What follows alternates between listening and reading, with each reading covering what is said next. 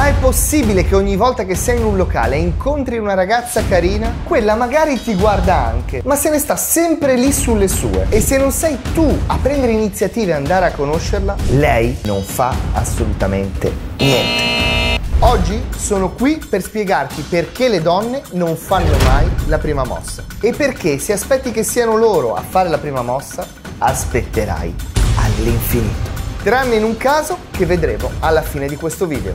Le donne non fanno la prima mossa perché è da sempre così, è l'uomo che deve prendere iniziativa. Può anche essere vero, amico mio, ma la situazione è un po' più complessa di così. I tempi sono cambiati, le donne hanno preso consapevolezza di quella che è la loro forza in ambito relazionale e in questa faccenda c'entrano anche loro. No, non mi riferisco agli smartphone. L'avvento dei social ha cambiato completamente quelli che sono gli equilibri tra uomo e donna. Hanno sì avvicinato le persone a livello comunicativo, ma le hanno distanziate a livello personale. Gli uomini sono sempre meno sicuri e meno virili. E cosa fanno? Approcciano le donne online perché non serve avere le palle e guardarle in faccia mentre le approcci dal vivo. Perciò le donne sono sempre più consapevoli della loro forza, perché nel momento in cui mettono in mostra la loro bellezza sui social, vengono bombardate da mitragliate di morti di figa che scrivono bellissima, sei fantastica, sei uno splendore, buongiornissimo, caffè. Apri una qualsiasi foto su Instagram di una ragazza carina e vedrai una sfinza infinita di questi commenti tristi,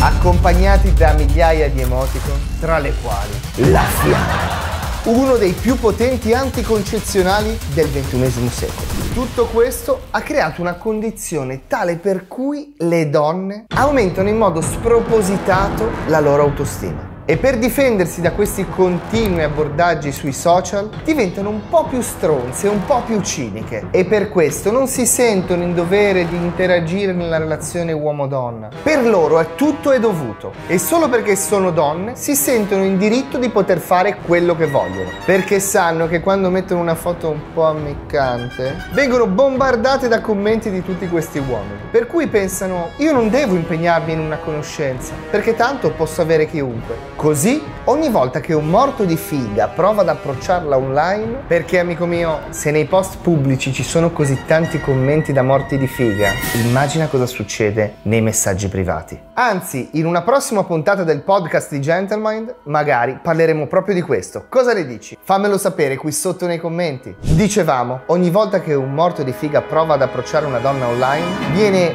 o rimbalzato o trattato come uno sfigato o ancor peggio, totalmente ignorato ignorato. Questo perché appunto si sono create delle dinamiche che hanno portato la donna a credersi una semidivinità che si sente in diritto di non dover far niente. Ecco perché se aspetti che sia la donna a fare la prima mossa, hai perso in partenza, amico mio. Inoltre, come accennato prima, per natura è sempre l'uomo che deve fare la prima mossa. E ricorda che anche se sei abilissimo nelle dinamiche sociali e nel farti notare, un minimo di interazione la devi comunque fare. Infatti, una donna, soprattutto se molto molto bella, non verrà quasi mai da te per conoscerti. Ho detto quasi perché in effetti c'è un'eccezione a questa regola.